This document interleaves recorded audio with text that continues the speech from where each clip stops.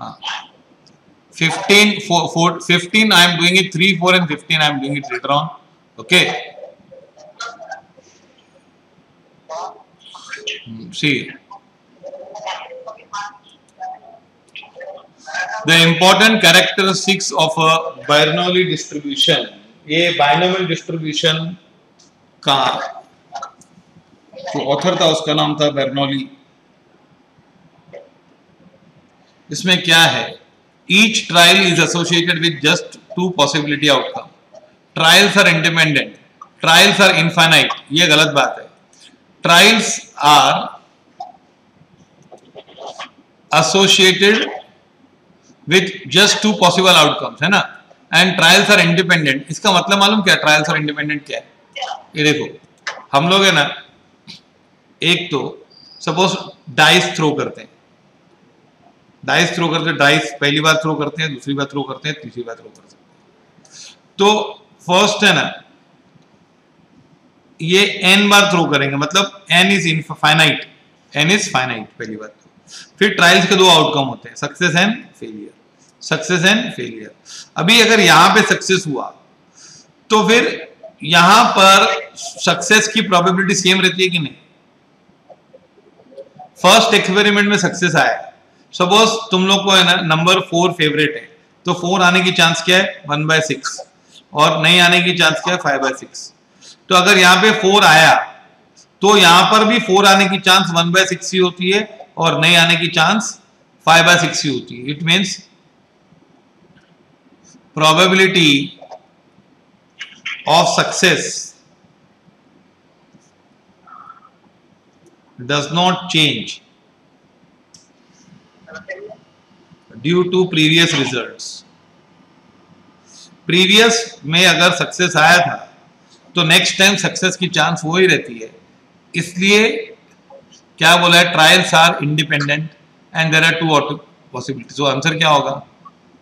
A and B seventeen one the probability mass function of a distribution is given by ये है। N C X P raised to X Q raised to N minus X है ना ये है If X is a binomial variable with parameters NP then X can assume any value between 0 and N नहीं any value between 0 and N both inclusive zero भी हो सकता है और एन भी हो सकता है उसके बीच में कहीं भी हो सकता है whole number whole number between zero and N ये आंसर बरोबर एक्स की वैल्यू है ना ज़ीरो और एन के बीच में होगी लेकिन होल नंबर होगा। क्या होगा? होल नंबर बताता हूँ क्या? सुनो एक मिनट हाँ, एक मिनट इसका मतलब क्या है? ये ना जैसे देखो a coin is thrown five times तो नंबर ऑफ़ हेड्स क्या हो सकते हैं? हेड्स है ना? Zero head five tails one head four tails two heads three tail ऐसे हो सकता है ना? लेकिन 1.5 हेड्स हो सकता है क्या? नहीं। 2.5 हेड्स नहीं हो सकता। तो ये हेड्स की वैल्यू है ना इंटीग्रल होल नंबर से होंगे। ज़ीरो से लेकर फाइव तक। तो उसमें बीच में 1.2 1.3 नहीं आएगा। इसीलिए इसको डिस्क्रीट डिस्ट्रीब्यूशन भी बोलते हैं। क्या बोलते हैं इसको? डिस्क्रीट डिस्ट्रीब्यूशन कहाँ पे पहुँच गए हम लोग? हाँ। अब आइनेबल distribution is symmetrical when P is equal to zero point five P क्या हो? ज़ीरो पॉइंट फाइव होता है ना? तब सिमेट्रिकल होता है। The mean of a binomial distribution NP is mean क्या है?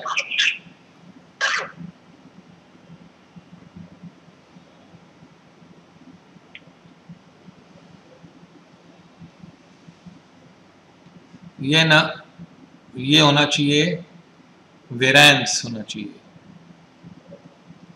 ये ना गलत छप गया है, ये पढ़ो। Variance of a binomial distribution is N P Q तो ये होगा, नहीं एन पी ये सी okay?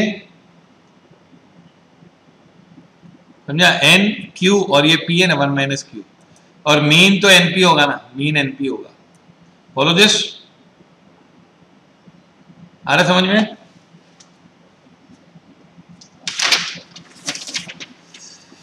For a binomial distribution हाँ सी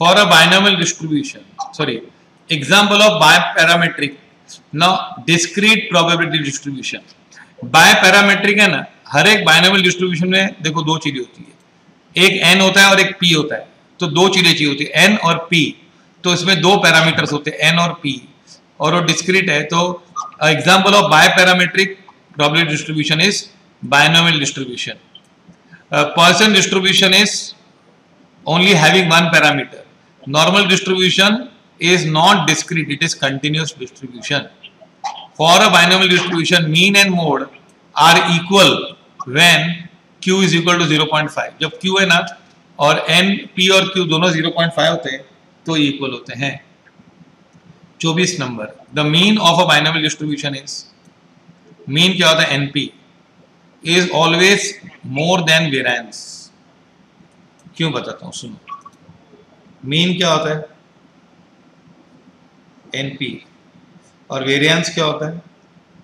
एन पी क्यू और एक क्यू क्या होता है? लेस देन वन होता है. तो ये लेस देन वन से मल्टीप्लाई करेंगे मीन को तो ये कम हो जाएगा ना? और ये ज़्यादा रहेगा हमेशा. एन पी हमेशा ज़्यादा रहेगा. तो mean is greater than variance okay mean is greater than always more than variance for a binomial distribution there may be so answer is one mode और टू मोड इस पे आते हैं हम लोग। Now the maximum variance maximum value of variance of a binomial distribution is maximum value of variance of a binomial distribution parameters N N P is इसका answer है N by four हम लोग ट्राई करते हैं इसको prove करने का C S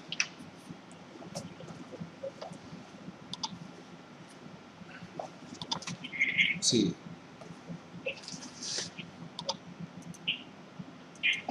variance होता क्या है एन पी क्यू ओके ना वेरिएंस होता है N into P into one minus P that is N P minus N P square बरोबर now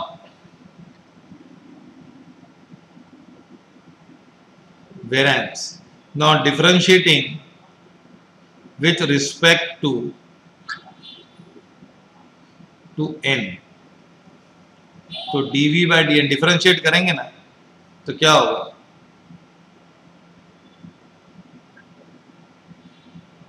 it will be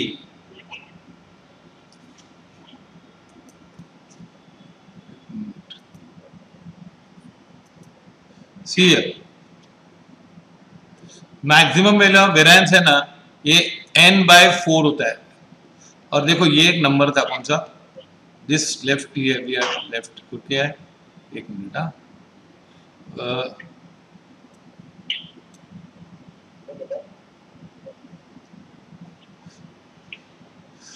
here, if x belongs to binomial, what is the maximum value of variance when n is 16 तो ये answer इसका 4 आएगा।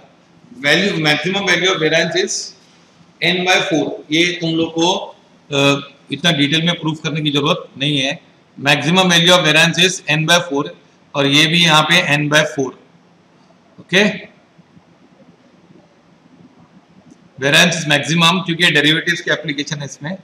Derivation में maximise minimise कैसे करते हैं?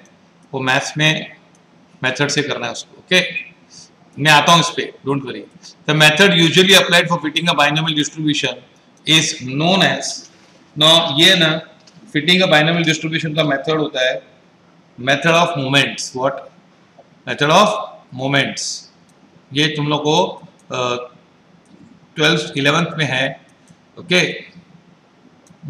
skewness kurtosis and moments a binomial distribution with parameter m and p can be approximated by Poisson distribution when m is equal to np is ये कब होता है बाइनोमियल पॉइसर के पॉइसर बन जाता है कब when m is sorry uh, m is infinite n is infinite होना चाहिए and p tends to zero m tends to infinite and p tends to what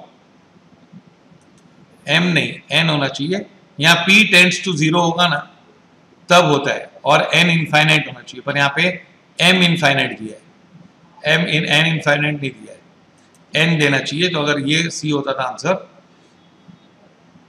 हाँ ये ये n होना चाहिए। n tends to infinite and p tends to zero so mp remains mp remains infinite okay तो ये answer इसका d है। That we are coming when we do